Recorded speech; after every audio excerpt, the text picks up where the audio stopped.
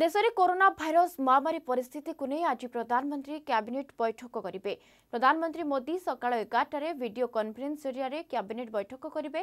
ଦେଶରେ ମହାମାରୀ ପରିସ୍ଥିତି ଉପରେ ନେଇ ଆଲୋଚନା କରିବେ ମୋଦି। ଏହାସହ ସାରା ଦେଶରେ ଅମ୍ଳଜାନ ଶଯ୍ୟା ଏବଂ ଅନ୍ୟାନ୍ୟ ମେଡିସିନ୍ ଅଭାବରୁ ଅନେକ ଲୋକ ମୃତ୍ୟୁବରଣ କରୁଛନ୍ତି।